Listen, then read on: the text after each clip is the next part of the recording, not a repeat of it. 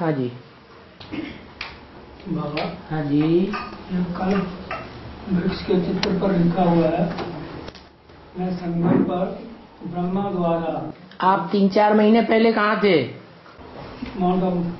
यहाँ कह के गए थे? छुट्टी लेके गए थे?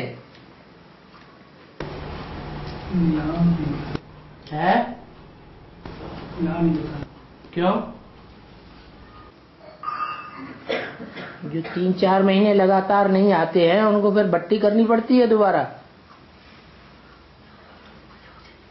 है? तो आपका कोई कनेक्शन नहीं रहा बाबा से। वहाँ क्लास तो डेली करता था। ये तो बेकार बात हो गई ना आपने जहाँ क्लास करते हैं वहाँ से आपने कोई छुट्टी भी नहीं ली? बिना परमिशन के ही कहीं भी चले गए? अभी आप अपनी बट्टी कर लीजिएगा। बाहर लिख के आइए, किस किस लिए नहीं आए, क्या बात हो गई, क्यों? माउंट आबू क्यों चले गए तीन, चार महीने? फिर चले जाएँगे। बाबा ने तो किसी को कहा नहीं कि माउंट आबू में जाके बस जाओ। प्रॉपर्टी खरीदने के लिए ज़रूर कहा। खरीद के डाल दो। तुम्हारा दिन दुगुना रात चौगुना बढ़ता रहेगा। हाँ क्या पूछ रहे हैं? कल्प वृक्ष के चित्र पर लिखा है मैं संगम पर ब्रह्मा द्वारा जीवन मुक्ति और शंकर द्वारा मुक्ति देता हूँ। हाँ जी। ब्रह्मा द्वारा जीवन मुक्ति हाँ। ऐसे मिलती उद्धार माने क्या है? हैं? बाप आकर के माताओं के द्वारा उद्धार करते हैं। हम्म? तो ब्रह्मा का वो कौन सा रूप है? माता गुरु बिगर उद्धार हो न सके।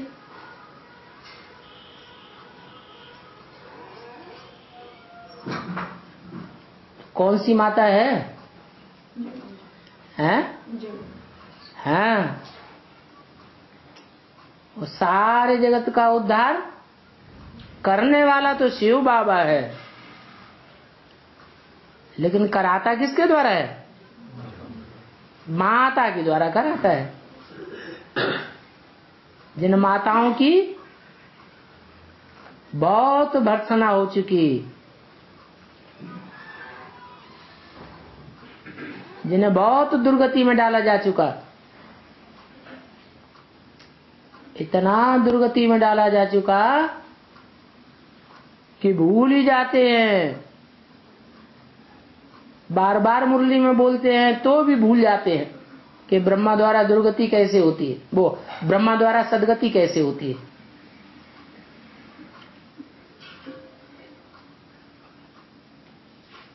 वास्तव में ये ब्रह्मा तुम्हारी जगदम्बा है। ये मुरली में क्यों बोला? है? याद दिलाने के लिए। इसलिए बोला, कि ब्रह्मा की सोल ही जगदम्बा में प्रवेश करके पूज्य बनती है। दाढ़ी मूछ वाला ब्रह्मा पूज्य नहीं है, क्योंकि पुरुष चोला है। वो भी दुर्योधन दुशासन है। सब पुरुष दुर्योधन दुशासन है। फिर स्त्री चोले में आकर के पूजनीय बन जाती है। जगदम्बा की पूजा होती है ब्रह्मा की पूजा नहीं होती। और? बाबा रचयिता का अंत पाया जा सकता है परंतु उसकी रचना का अंत पाना मुश्किल है। है? रचयिता कौन है? बाप। और उसकी फ़र्स्ट रचना कौन है? विधि ने नारी हृदय गति जानी। जो विधाता है वो भी स्त्री की गति को हृदय की गति को नहीं जान पाता।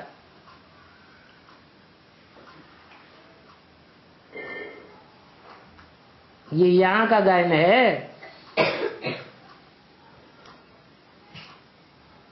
और? बाबा बाबा ने मुरली में बोला कि चलते फिरते तीनों ही याद करने चाहिए। हाँ। तो बाबा वो कैसे करेंगे। वो कैसे याद करे? नहीं बाप तो याद है। बाप याद है? हाँ तो क्यों पढ़ाता नहीं है? हाँ, उससे ज़्यादा कोई पढ़ाई पढ़ा सकता है? नहीं उसको कोई पढ़ाई पढ़ा सकता है? नहीं। तो टीचर क्यों भूल जाता है? नहीं। बाप तो याद आ सकता है तो टीचर भी याद आ सकता है। पॉइंट जो याद आते हैं उसके आधार पर कह सकते टीचर की याद आती है। अच्छा मुरली के पॉइंट जो है वो तो बाप सुनाता है।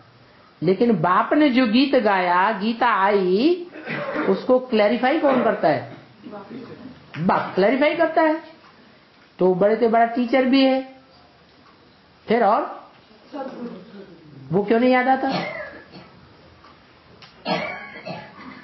पढ़ाई पढ़ने से सदगति थोड़ी हो जाएगी।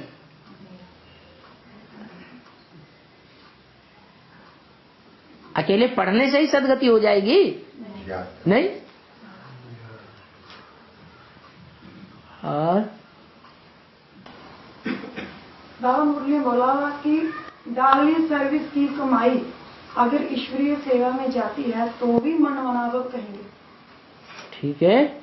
जानते हैं ये डावली सर्विस जिनकी करते हैं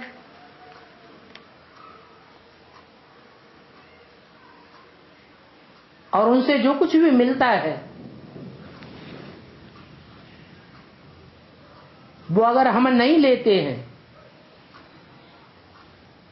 तो भी वो सब मिट्टी में मिल जाएगा, डूब जाएगा, डूबती बेड़ी में चला जाएगा।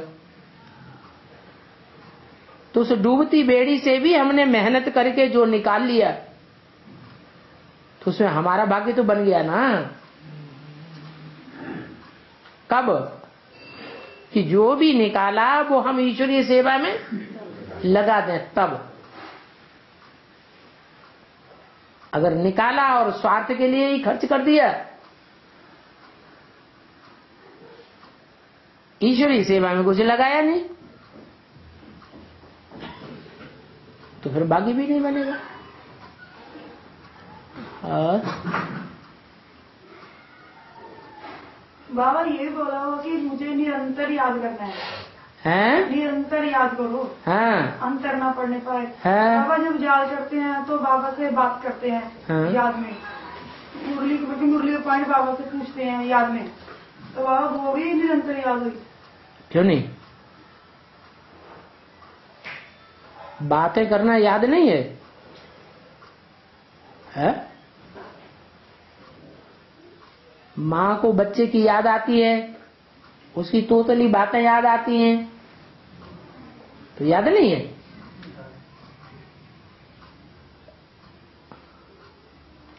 हाँ पराकाष्ठा की याद नहीं है।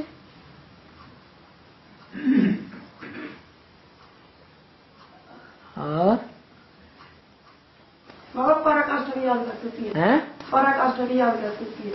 पराकाष्ठा माने जिसमें सिर्फ़ है मैं आत्मा और मेरा बाप ज्योति बिंदु और वो किस स्वरूप में कार्य कर रहा है?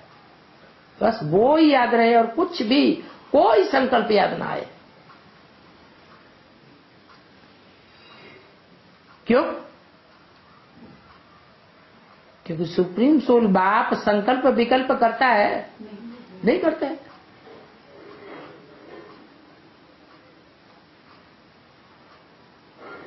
हमें भी बाप समान बनना है। जो पहले पहले बाप समान बनेंगे, वो पहले पहले बाप के घर में जाएँगे और पहले पहले सृष्टि में आवेंगे जितना पहले सृष्टि में आवेंगे, उतना ही जन्म जन्मांतर ज़्यादा सुखी बनेंगे।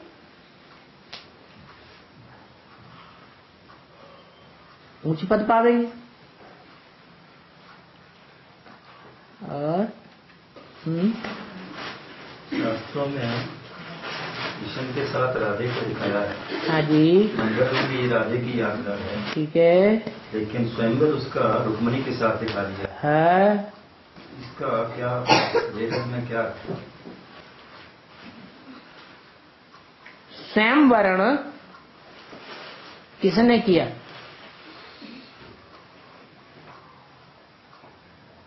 पहल किसने की? है? राधा ने की या रुक्मिणी ने की?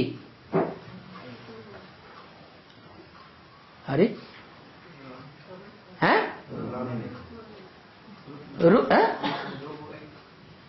पहल किसने की? स्वयंवर करने कराने के लिए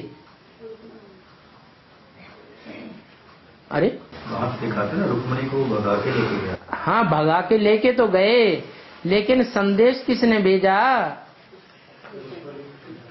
रुक्मिणी ने भेजा ना तो पहल किसने की? रुक्मिणी ने की।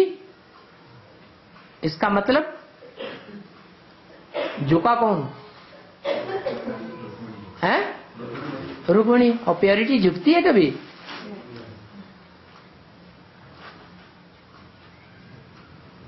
प्योरिटी नहीं है तो यूनिटी नहीं है। यूनिटी नहीं है तो शरण लेनी पड़ती है। शरण पड़ी मैं तेरे। ये सब भक्ति मार्ग की बातें हो गई। बच्चे तो बच्चे होते हैं। वो कभी शरण नहीं पड़ते हैं। बाप ने उन्हें अपना बनाया है।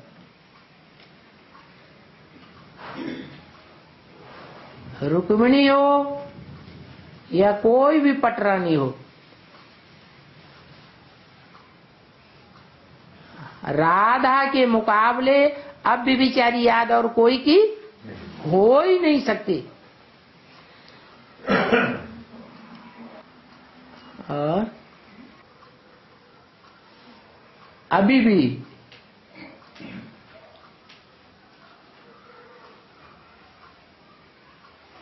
कृष्ण कौन से वंश का है? हैं? सूर्यवंश का और राधा? चंद्रवंश की है। बाप का डायरेक्शन किसको मिला है? कि आवाहन करो। क्यों? इससे क्या साबित होता है? कि प्योरिटी सो यूनिटी बनाने वाली है। इसलिए राधा का आवाहन करो। नीचा कौन हुआ ऊँचा कौन हुआ? है? जो नीची स्टेज में है वो आवाहन करता है। या जो ऊँची स्टेज वाला है वो आवाहन करता है। नीची स्टेज वाले को आवाहन करना पड़े।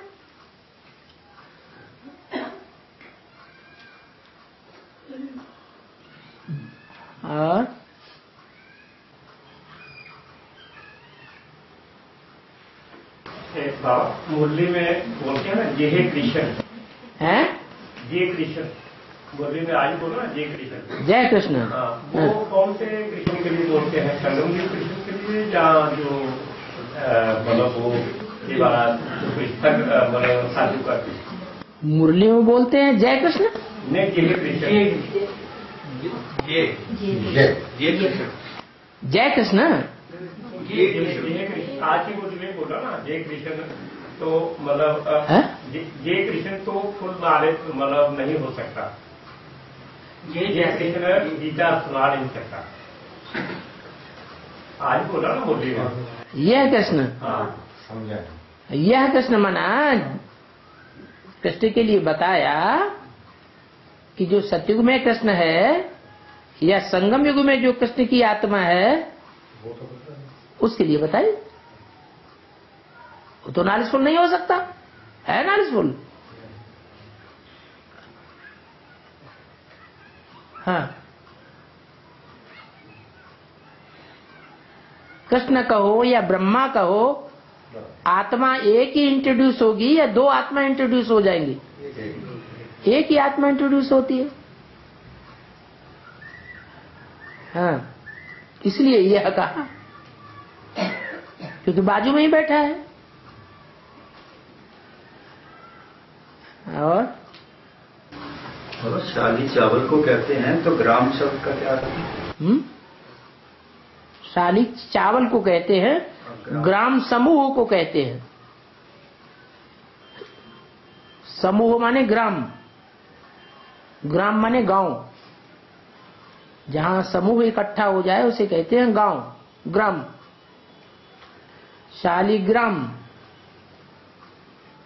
जब टीका लगाते हैं तो ये टीका जो आत्मिक स्थिति में टिक जाए वो विजयी कहेंगे या हारा हुआ कहेंगे? विजय। का टीका है। और जिसने विजय प्राप्त कर ली तो वो युद्ध में जीत गया या हार गया? जीत गया। तो सारा समूह उसका बन गया या अकेला है? उसका बन गया? इसलिए जब टीका लगाते हैं तो एक चावल नहीं लगाते हैं? ढेर के ढेर चावलों का समूह लगा देते हैं। इसलिए सालिग्राम कहा जाता है। आत्मिक स्थिति वालों को।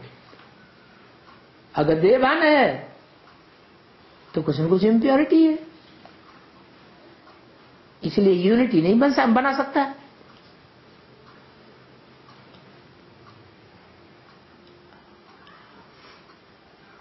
और बाबा कहते हैं कि मैं आत्मिक स्थिति में रहने वाले बच्चों से बात करता हूँ। ठीक है। तो बाबा पूरा दिन में बीच बीच में बनती है आत्मिक स्थिति। चौबीस घंटे वो नहीं बनती। नहीं बनती तब तब याद रहेंगे तब बात नहीं करता है। जब आत्मिक स्थिति में है तभी बात करता है। और अगर आत्मिक स्थिति में नहीं है और बात की तो वो एक कान से सुनेगा दूसरे कान से निकालेगा। बाबा याद करने से पहले आत्मिक स्थिति में बैठना है। बिल्कुल। हाँ तब तो बाबा याद करता है। है? खुद की ही याद नहीं है। तो सुप्रीम सोल की याद कैसे आवेगी हाँ। मुरली में आया है कि तुम्हारी आत्मा की सारी कट निकल जाएगी तो तुम बाप से सन्मुख हाँ। हाँ। तो अगर कट सारी निकल गई तो नहीं वो बेसिक ज्ञान की बात है ना। अभी तो हम एडवांस में चल रहे हैं। शुरुआत की पढ़ाई हम पढ़ रहे थे उस समय की बात है। आत्मा की जो कट है वो ऊपर ऊपर कट उतर गई। तो क्या अंदर से शुद्ध हो जाएगी? फिर भी तो सोना डाला जाता है ना अग्नि में। शब्द है ना सारी कट निकलने कट माने क्या? गंदगी। जैसे तुम्हारी आत्मा सोना थी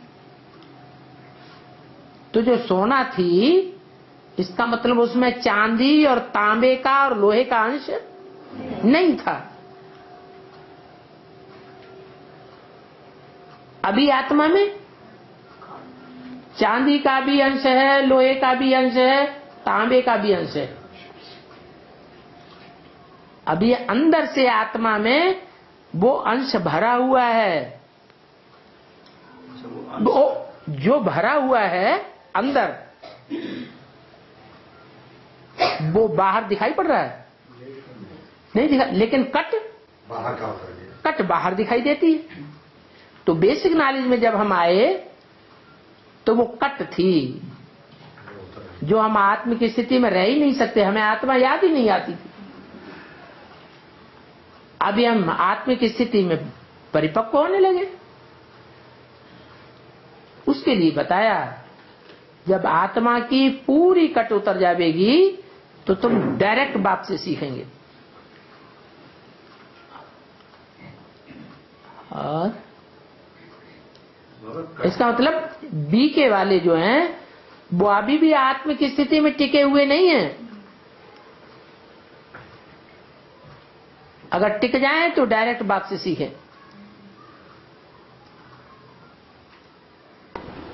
कट चढ़ी है संग दोष से। है? हाँ तो वो निकलेगी तो भी। त्रेसठ जन्म जो संग दोष से कट चढ़ी है वो तो अंदरूनी बात है संस्कारों की बात है। और? जो खाब में संदोष होता है उसमें क्या? हैं? खाब में संग दोष हो जाता है हाँ ख्वाब में? खाब में संग। कहीं खाब में मिलते हैं संदोष होता है। संग दोष हो जाता है। हाँ। हाँ। तो उसका क्या है? जो स्वप्न है, जो संकल्प है, वो पूर्व जन्म की रील घूमती रहती है। पूर्व जन्म में हमने जो भी संग किया है, जो भी हमने कृत्य किया है, वो सारी रील अभी घूम रही है। स्वप्न में भी घूम सकती है। जागृत में संकल्प करते भी घूम सकती है। स्वप्न में घूमती है। वो अंतवाक शरीर है, जिसे सूक्ष्म शरीर कहते हैं। कहाँ न कहाँ आत्मा डोलती रहती है स्वप्न में, और संग के रंग में आती रहती है। वो स्वप्नवत है। लेकिन हम जो संकल्प करते हैं वो वो ज़्यादा महत्वपूर्ण है।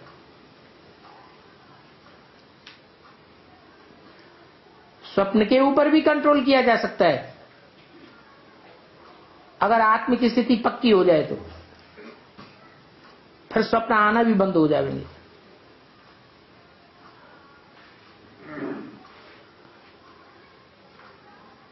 देवान ज़्यादा होता है तो गंदे स्वप्न भी आते हैं।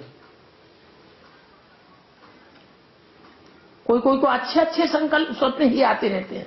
बड़े खुश होते रहते हैं अंदर अंदर हमने बाबा से बात की सवेरे को उठे तो बड़े हल्कापन महसूस हुआ। बाबा हमें स्वप्न में मिल गए।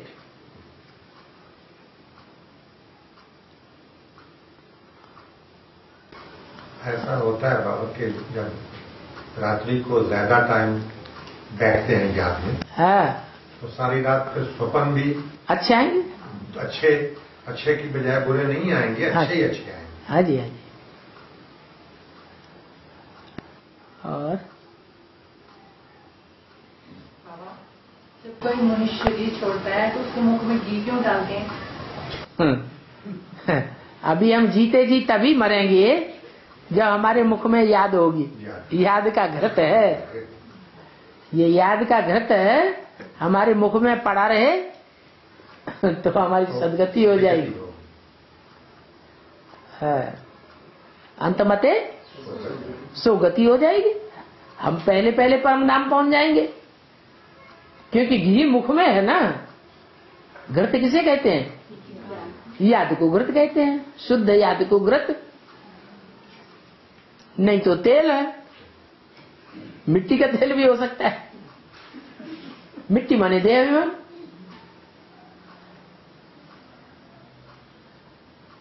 और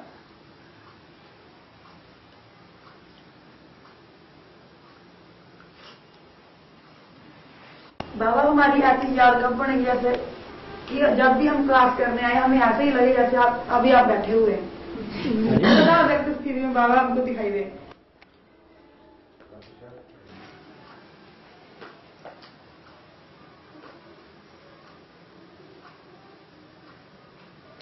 बाबा का भी तो हिसाब किताब है। अव्यक्त स्थिति में हमारी हाँ हाँ वो तो अब आए आप। इतना संगठन बड़ा बैठा हुआ है। मोस्टली का लागत लगी हुई है एक तरफ़।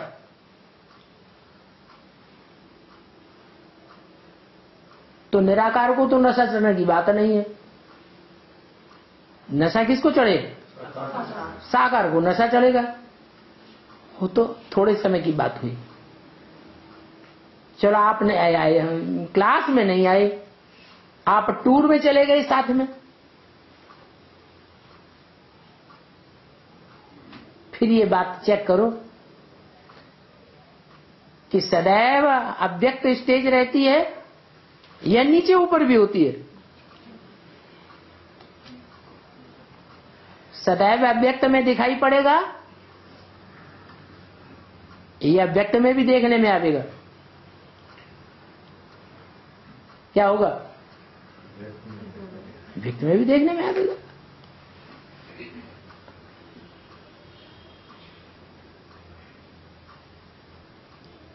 बाबा एक मूल्य में बोला है कि माता को आत्मिक स्थिति नहीं बनानी इससे महाकाली का पाठ। है? आत्मिक स्थिति से महाकाली का पाठ। आत्मिक स्थिति बनने से महाकाली का पार्ट होता है। इस मूल्य में हैं? मूल्य तो नहीं आत्मिक स्थिति में होने से महाकाली का पार्ट होता है और देवान की स्थिति में होने से लक्ष्मी का पार्ट होता है। महागौरी का। स्वभाव संस्कार को चेंज करना। हैं? स्वभाव संस्कार को चेंज करना आत्मिक। हाँ स्वभाव संस्कार को चेंज करना वो तो ठीक है। आत्मिक स्थिति में स्थित रहने से स्वभाव संस्कार परिवर्तन होते हैं। जितना हम आत्मिक स्थिति में रहने की प्रैक्टिस करेंगे स्वतः ही स्वभाव संस्कार परिवर्तन होते रहेंगे।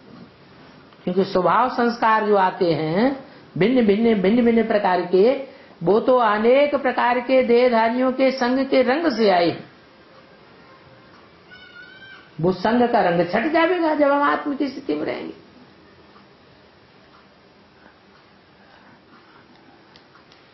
और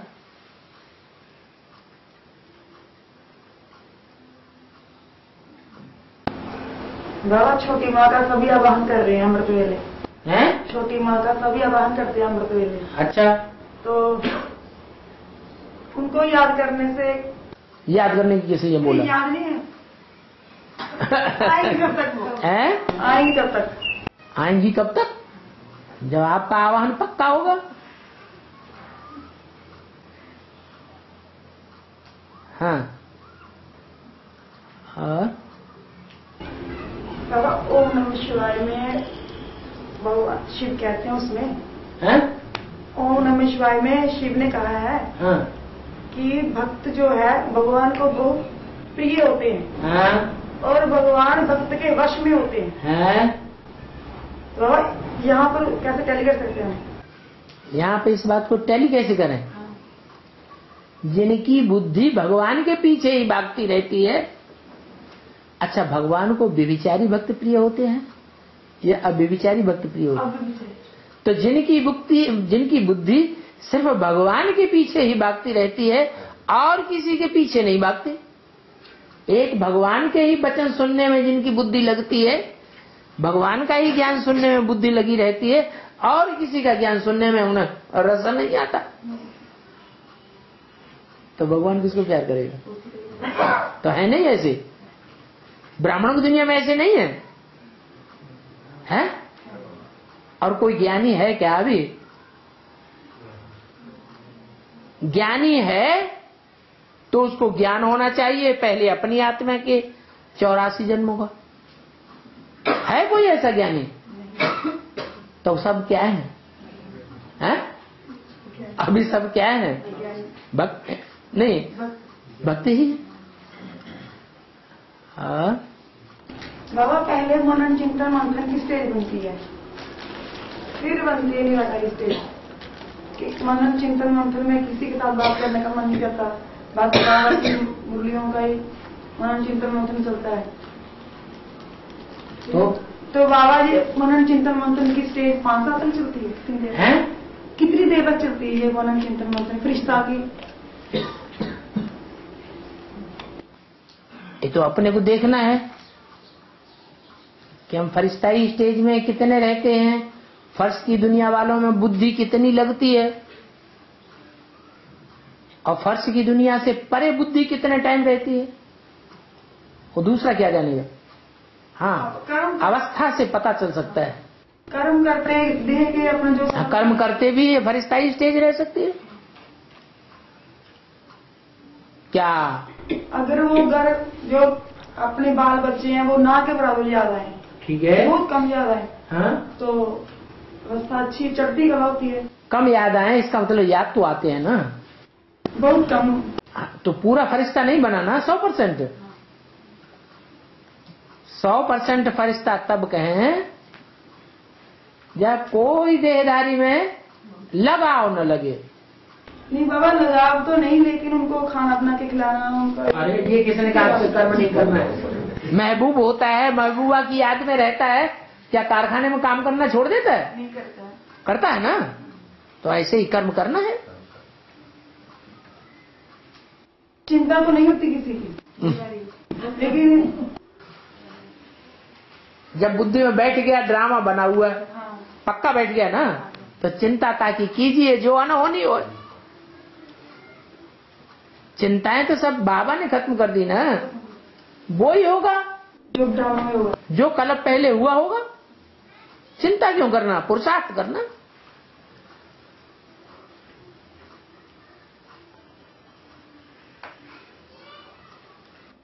एक मुरली में बाबा ने बोला। और चिंता किसकी करें? कलयुग के अंत में तमो प्रधान संबंधी मिलते हैं या सतो प्रधान मिलते हैं? दुखदाई मिलते हैं या सुखदाई मिलते हैं?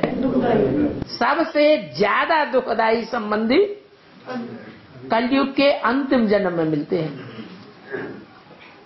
तो उनकी चिंता करना या जिन्होंने बहुत सुख दिया है उनकी चिंता करना? जिन्होंने सुख दिया। तो उल्टा करना। हाँ। मेरा मतलब कि उनकी याद बिल्कुल ना आए ना के बराबर। अब तो बुद्धि में बैठ गई बात। कि किसको याद करना है किसको नहीं करना है। किसकी याद से फ़ायदा है किसकी याद से नुकसान है। कि यही इच्छा है कि अंतिम जन्म में जो संबंधी मिले हैं वो जन्म जन्मांतर हमें मिलते रहे। वो कभी ना मिले। आया है? वो कभी ना मिले। अभी तो मिलेंगे ही संगम में तो आखिर जन्म में तो मिलेंगे। लेकिन अब उनसे पीछा छूट छूट छुटकारा चाहिए। या उनसे और लगाव बढ़ाना है? अभी संबंध जोड़ने का टाइम है या तोड़ने का टाइम है? तोड़ने का टाइम है। बाबा ये भी तो कहा ना कि उनका उद्धार ये देखो ये हमारा कर्म है। हमारा कर्तव्य क्या है? हमारा कर्तव्य है अपकारियों के ऊपर भी उपकार करना। तो जिन अप, अप, अपकारियों पर हम उपकार कर रहे हैं उनसे लगाव लगाना ज़रूरी है। बाबा पूर्व जन्मों में हमने इनके साथ ज़रूर बुरे कर्म किए हैं जो हमारे लिए जो बंदी बन के आए हैं। पूर्व जन्मों माने? द्वापर के आज से लेकर ये तुम्हारे संग हैं। नहीं ये ऐसा तो नहीं है? नहीं फिर शेष संकल्प करो कि इससे पहले वाले जन्म में इन्होंने- हम, हमने इनको ज़्यादा दुख दिया होगा तो ये हमको दुख दे रहे हैं इस जन्म में। हिसाब किताब पूरा हो रहा है। हमारा मतलब है कि ये सिर्फ़ लास्ट जन्म में हमारे साथ हो लेकिन चौरासी जन्म में हमारा साथ नहीं होना चाहिए। चाहिए? ये तो आपके हाथ में है। आप जैसा संकल्प करेंगे वैसा बनेंगे। संकल्पों से सृष्टि रची ब्रह्मा ने तो ब्राह्मणों ने संकल्पों से सृष्टि नहीं रची। हर ब्राह्मण एक सितारा नहीं है। हर सितारे में एक एक सृष्टि नहीं समाई हुई है। कहते हैं उन सितारों में एक एक दुनिया है। तो क्या हम आत्मा रूपी सितारों में हमारी दुनिया नहीं है? अरे चौरासी जन्मों में 500 करोड़ के संग में तो सब नहीं आ सकते। हाँ कुछ लोगों, कुछ आत्माओं के संघ के रंग में आएँगे ना? तो जिन जिन के संग के रंग में जब जब हम आए हैं, वो हमारी आत्मा में पार्ट रुदा हुआ है, वो ही संबंधी, वो ही संपर्की जो है, वो ही हमारी दुनिया है। अब हमारी जो दुनिया है, वो दूसरे की दुनिया थोड़े ही हो सकती इनकी अलग दुनिया होगी, इनकी अलग दुनिया होगी, उनके अलग संपर्की संबंधी होंगे, संसर्गी होंगे, हमारे अलग होंगे।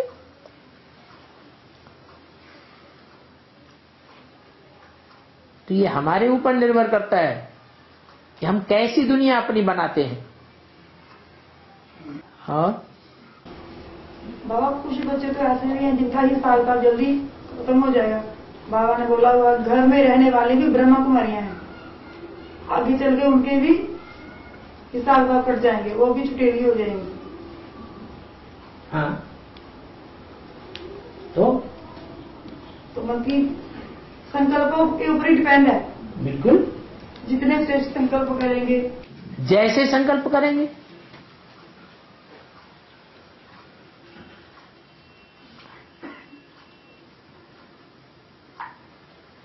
बाबा ने मुरली में यही बोला है। कि कुछ बच्चे ऐसे होते हैं कि उनकी बुद्धि मिनी मधुबन में लगी रहती है। जब तक वो वहाँ पहुँचना जाए तब तक उनको उनको वहाँ जाके ही शगुन मिलता है। ठीक है मधुबन बाबा का घर है ना? तो ऐसे मधुबन मधुबन मधुसूदन का घर है ना? तो वहाँ बुद्धि लगी रहे तो खराब क्या है? तो उनके बंधन जल्दी कटेंगे। बिल्कुल सही बात है। और कोई ऐसे हो जिनका बाबा ही मधुबन है। जहाँ जहाँ बाबा है, वहाँ वहाँ मधुबन है। तो उनकी तो और जल्दी कटनी चाहिए। जैसे अभी अव्यक्तवाणी में बोला, बाप दादा बच्चों के बगैर नहीं रह सकते। बच्चे? बाप दादा के बगैर नहीं रह सकते। तो कौन से बच्चे होंगे? जो सिर्फ़ याद ज़रूर ऐसे बच्चे होंगे, जिनका साकार में कनेक्शन अगर बाबा से किसी दिन नहीं जुड़ेगा तो उन्हें तलखीलापन महसूस होने लगेगा।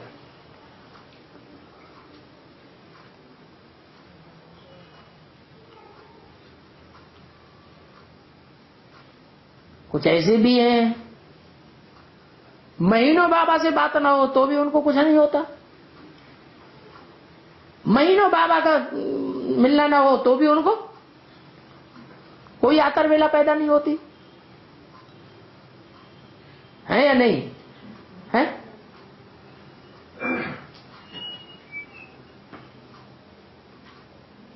इसे क्या साबित होता है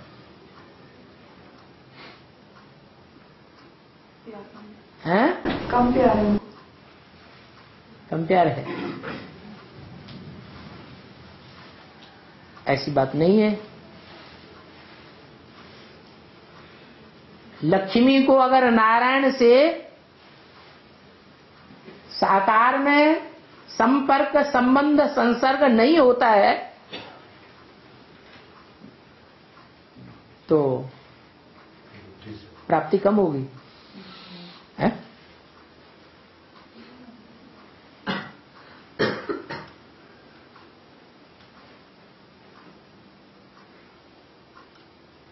हैं हूँ देववान होगा उनको साकार में ज़रूरत होगी। जिनमें देवभान होगा उनको साकार में ज़रूरत पड़ेगी। माने लक्ष्मी आत्माभिमानी है फिर बेसकों का के लिए पड़ी हुई है। अगर आत्मा की कट उतर चुकी आत्मा अभिमानी है तो बाप से डायरेक्ट कनेक्शन होना चाहिए डायरेक्ट बाप मिलना चाहिए या नहीं मिलना चाहिए? है? दूरा पर संकल्प तो? लक्ष्मी नारायण के संकल्प तो एक ही है। लक्ष्मी और नारायण संकल्प एक ही है? अरे, एक ही संकल्प है? कैसे? आत्मा अरे, वो आत्मा नारायण से ज्ञान धन लेने वाली और नारायण उसको देने वाला। तो लेने और देने वाले दोनों के संकल्प एक ही होते हैं? होते हैं। वाणी में आया है कि अनायास ही बच्चों के सभी कर्म बंधन चुप्त हो जाएँगे। ठीक है? तो याद करते करते कोई तो ऐसा क्षण आवेगा जो जितनी आत्माओं से हमारा संसर्ग संबंध संबंध बना है, तिरसठ जन्मों में, वो सब चुकतू हो जाएगा। तो वो क्षण अनायास ही आवेगा या पहले से हमें पता लग जाएगा? अनायास ही आवेगा ठीक ऐसे ही जैसे अनायास ही हमें भगवान मिल गए। है? वो भी हिसाब किताब है। किसी को पहले मिल गया किसी को बाद में मिल गया। वो भी हिसाब किताब है। किसी को बाद में मिल गया तो भी वो लास्ट तो फास्ट जाता है। और किसी को पहले मिल गया तो भी कछुए की चाल चल रहे हैं धीरे धीरे धीरे धीरे धीरे।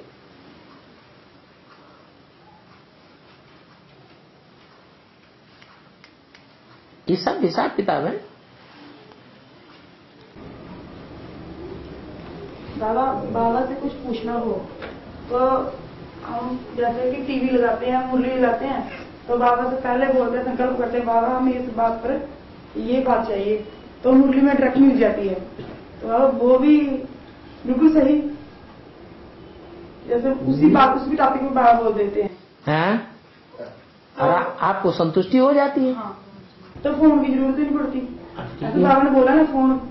ठीक है ठीक है ठीक है। कभी ऐसा भी होता है कि आपको जिस प्रश्न की ज़रूरत है उत्तर की वो मुरली में समाधान तो मिलता है लेकिन पूरा समाधान नहीं मिलता। बाबा अभी तक तो पूरा मिलता है? अभी तक तो पूरा मिलता है। अभी तक पूरा समाधान मिलता है। मैंने बाबा के सामने आपको आने की ज़रूरत नहीं है पढ़ाई के लिए। आपकी पढ़ाई पूरी हो गई। घर में हाँ हाँ हाँ। घर में रहते रहते अगर ज़रूरत पड़ती है। हाँ तो घर में बैठे बैठे सब समाधान। जब मिल जाते हैं तो सन्मुख जाने की ज़रूरत नहीं।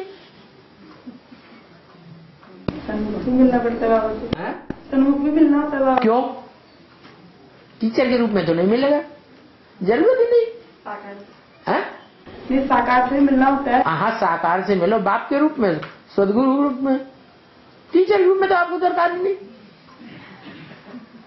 बाबा ने बोला कि मुरली ऐसे सुननी है हाँ। कि जैसे हम साकार में सुन रहे हैं मुरली ठीक है सुनो। हाँ। भक्ति मार्ग में क्या करते हैं? मंदिर में जाकर के मिलते हैं भगवान की मूर्ति सामने रखते हैं तो ऐसे देखना है जैसे साकार में भगवान हमारे सामने बैठा है। यही तो भावना करते हैं। वो सिर्फ़ भावना मात्र है, यह प्रैक्टिकल भी है। भावना मात्र है। भावना के आधार पर साक्षात भगवान का साक्षात्कार हो जाता है। इतनी गहरी भावना बैठ जाती है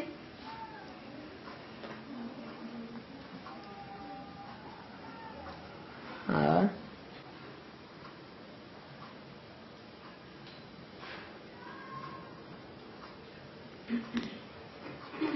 बाबा, जैसे कि आप मुरलियों में मुस्लिम धर्म को विधर्मी कहते हैं। माना? विपरीत धर्मी कहते हैं। और उनके एक्ट द्वारा भी ये बात साबित होती है। फिर भी ऐसा संगम पर कौन सा पुरुषार्थ उन आत्माओं द्वारा होता है, जिससे आत्माएँ उन मुसलमानों से प्रभावित हो जाती हैं। और प्रभावित होकर के मुस्लिम धर्म में कन्वर्ट हो जाती है। वो खास बात कौन सी है?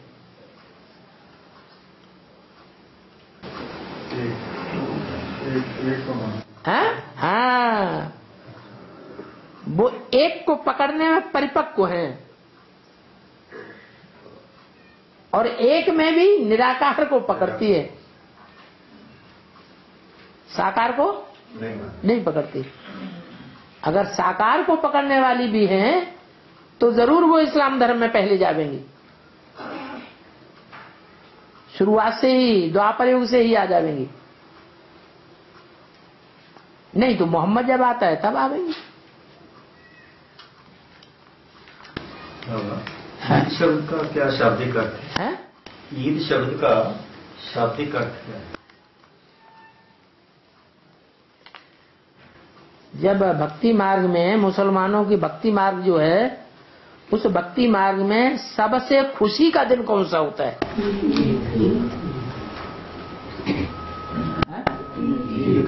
ईद। उसके बाद बकर ईद सबसे खुशी का दिन? ईद।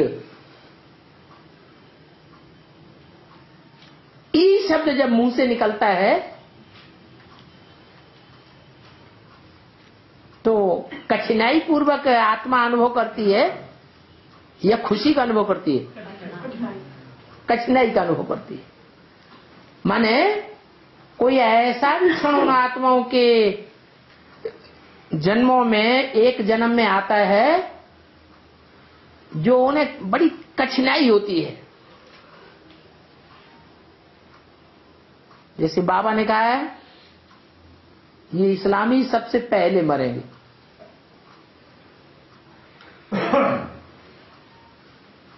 तो जब मरेंगे तो उन्हें जो सबसे प्यारी चीज़ होगी, वो द। देनी पड़े या ना कुर्बानी देनी कुर्बानी देनी पड़ेगी। तो उनके मुँह से ई निकल जाता है। ज्ञान मार्ग में वो ईद, वास्तव में खुशी की बात है। लेकिन वो खुशी आने से पहले आत्मा को थोड़ी मुश्किल या अनुभव होती है। और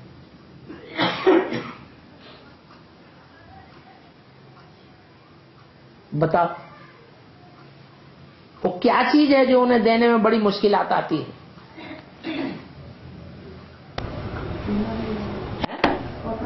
जला पाते हैं। छोड़ते वो देवान वो तो सेकेंडरी चीज़ है उनके सेकेंडरी त्योहार है। उसे कहते हैं बकर ईद। क्या? हाँ। बकरा होता है देवान की निशानी। मैं मैं मैं। वो देवान छोड़ना वो सेकेंडरी बात है। लेकिन उससे भी बड़ी चीज़ छोड़ना उनके लिए कौन सी मुश्किल? है काम विकास है। काम विकार में भी जिनसे उनका लगाव लगा पड़ा है जिनकी सुरक्षा के लिए वो जानमारी करते रहे युद्ध में जाएँगे तो भी साथ लेकर के जाएँगे। क्या? उनको छुपा छुपा के रखेंगे हर समय। तो इससे क्या साबित होता है? कि उन्हें सबसे ज़्यादा प्यारी चीज़ कौन सी है? वही देह का लगाव। है, और? शांति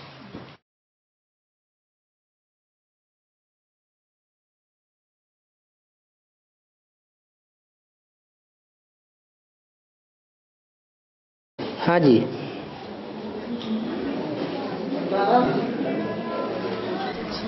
बम्बई में एक शेर को पालने वाला रहता था है? बम्बई में एक शेर को पालने वाला रहता था बम्बई में एक शेर को पालने वाला साधु हाँ। उसका नाम नहीं बताया। हाँ। वो एक बार शिमला में भी शेर को ले गया। हाँ। परंतु हर शेर को पालता था परंतु था है? हर शेर को पालता था परंतु था बहुत बेचारी। बल शेर को पालता था लेकिन था बहुत बेचारी। बहुत विविचारी था। हाँ। फिर शादी करके बच्चे आदि भी पैदा कर लिए। है? शादी करके बच्चे भी पैदा कर लिए। इसका अर्थ?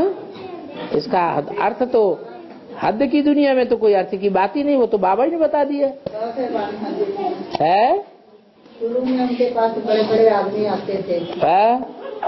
ऐसे सन्यासियों के लाखों फॉलोअर्स बन जाते है? तो शुरू शुरू में लाखों आदमी आते थे। बड़े बड़े आदमी आते थे। इसका मतलब बाद में आना बंद कर दिया। बाद में फिर नहीं आए।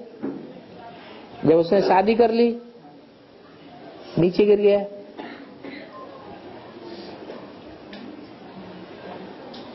ब्राह्मणों की दुनिया में बाबा ने कहीं इशारा दिया, कोई साधु है जो शेर को पालता है?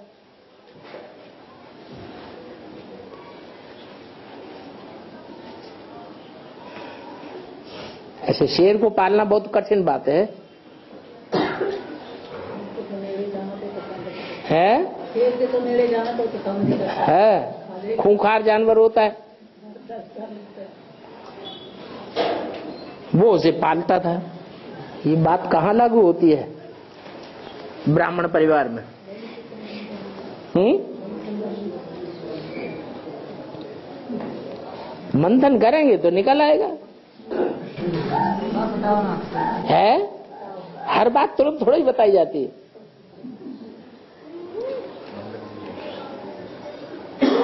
है? अच्छा भक्ति मार्ग में शेर की सवारी कहीं दिखाई है? है? नहीं दिखाई। है?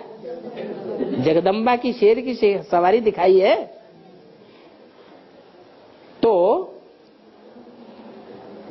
जगदम्बा का जो पार्ट है, वो वास्तव में किसका पार्ट है?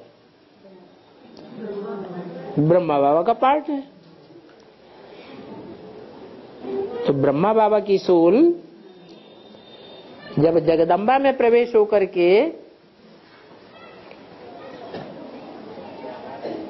पूजनीय बनती है। जो दाढ़ी मूछ वाला ब्रह्मा तो पूजनीय नहीं है। लेकिन जगदम्बा में प्रवेश करके जब ऐसा पार्ट बजाता है तो किसके ऊपर सवारी करता है?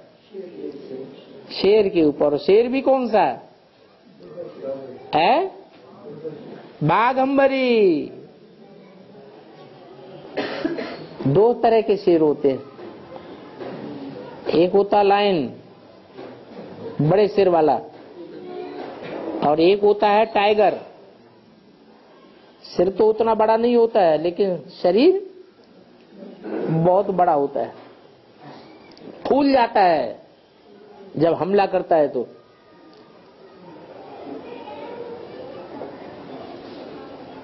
जैसे कोई किसी के ऊपर नाराज़ होता है ना तो ज़ोर से सांस लेकर के छाती चौड़ी कर लेता है।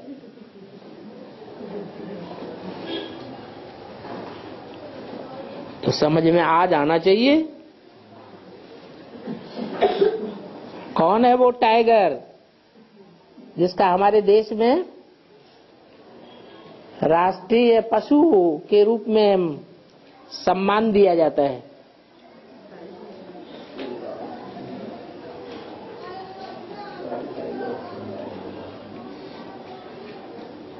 है? है? हम बताए सब। अब तो बहुत आसान कर दिया।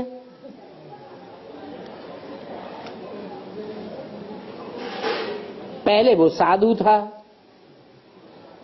स्वाद के बारे में कोई ज़्यादा ललक नहीं थी। फिर बाद में?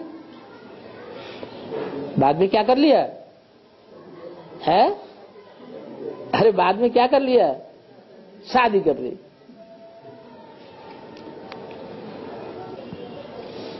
किसने शादी कर ली?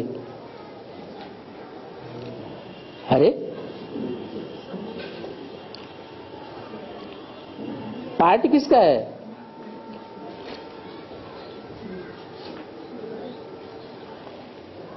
पार्ट बजाने वाला जो रूप है, वो किसका है? और उसमें पार्ट बजाने वाली आत्मा कौन है?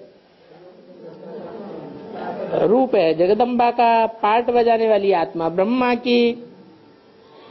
तो जगदम्बा के रूप में जो पार्ट बजाया, पहले तो क्या पार्ट बजाया?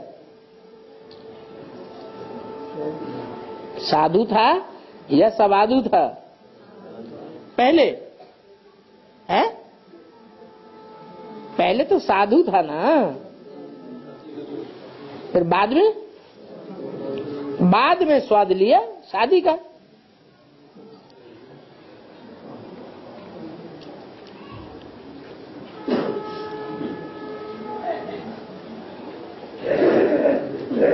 और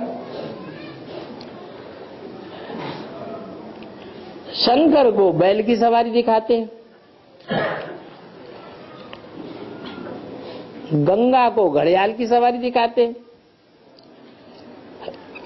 कार्तिकेय को मोर की सवारी दिखाते हैं। तो सवार होना माना क्या? है? कंट्रोल कर लिया।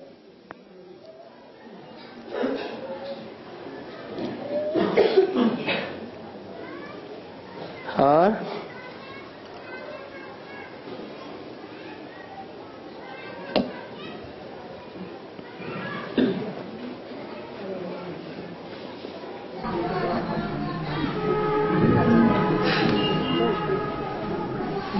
बाबा इसमें बॉर्नविटा वाला वो पॉइंट है जो पिछली बार पूछा था। हम्म।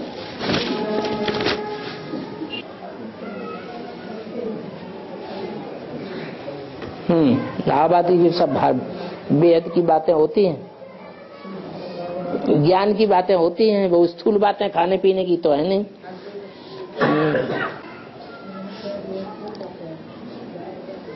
ज्ञान में जन्म लेते ही हिम्मत उमंग उल्लास आ जाती है। तो कोई ताकतवर चीज़ मिलती है तभी तो आ जाती है, ऐसे ही आ जाती है। हम्म।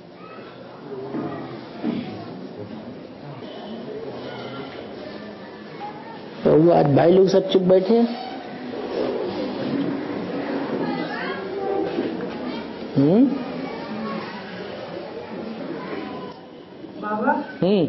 भक्ति मार्ग में कहते हैं? ना गुरु गोविंद गुरु हम्म। के रघु पाए बलिहारी गुरु आपने जिस गोविंद दिए मिलाए हम्म।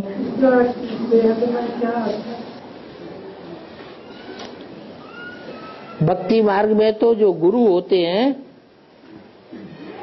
वो कोई भगवान तो होते नहीं है। गोविंद को भगवान कहा है। और यहाँ ज्ञान मार्ग में तो गुरु भी हैं और गुरु ढेर के ढेर हैं। जैसे भक्ति मार्ग में ढेर होते हैं। और गोविंद भगवान भी है। लेकिन भगवान तो निराकार है या साकार है वास्तव में? है? निराकार है। तो निराकार को मिलाने के लिए मीडिया तो चाहिए।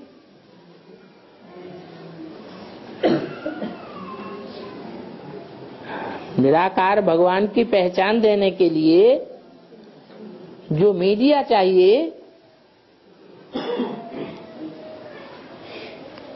वो गुरु है।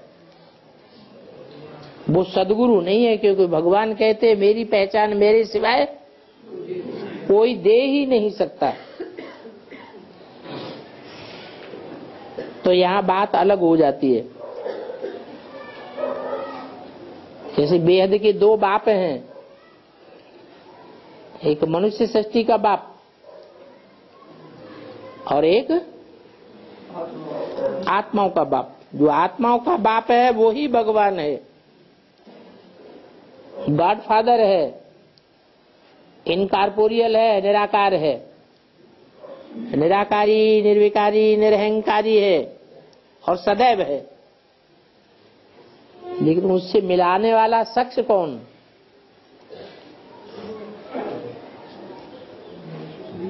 है? उससे कौन मिलाता है? साकार वो कौन?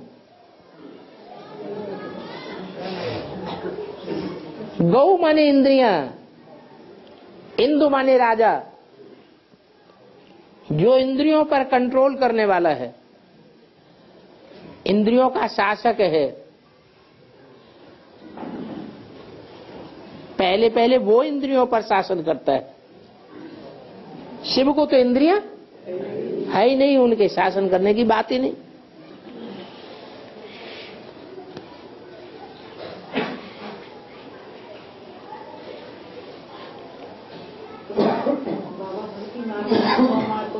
अभी बात पूरी समझ ली? है? गुरु कौन हुआ और गोविंद कौन हुआ?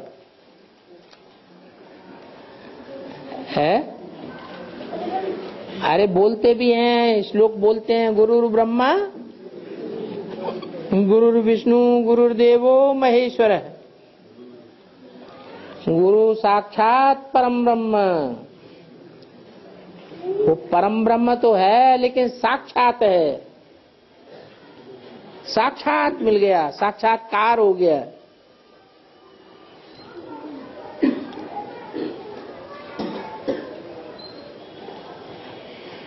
तो गुरु कौन हुआ?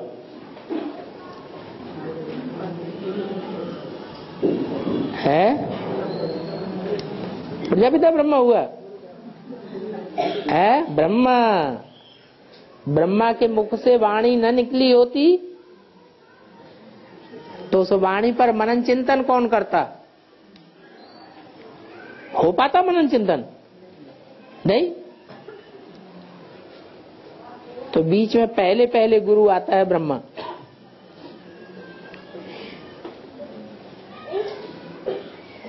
ब्रह्मा की वाणी से ही भगवान की पहचान होती है। उसे कहते हैं वेदवाणी।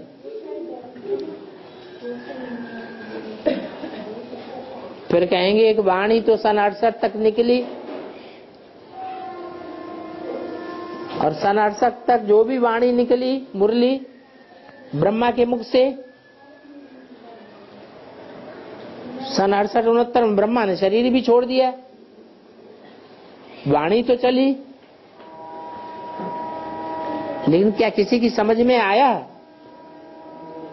है? है? समझ में तो किसी को नहीं आया ब्रह्मा कुमार को।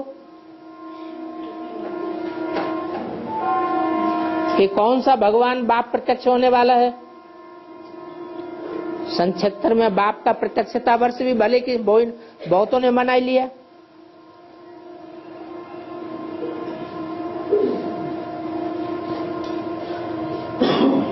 तो सभी ब्रह्मा कुमारों को तो नहीं समझ में आया। जो एडवांस में आते गए, उनको समझ में आता गया नंबर बार।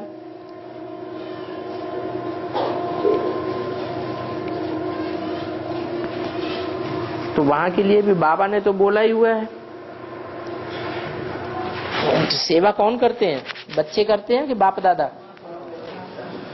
और बाप दादा अब व्यक्त हैं कि व्यक्त हैं? है, व्यक्त है तो भी अव्यक्त में भी व्यक्त व्यक्त में भी अव्यक्त है। और अव्यक्त तो है ही।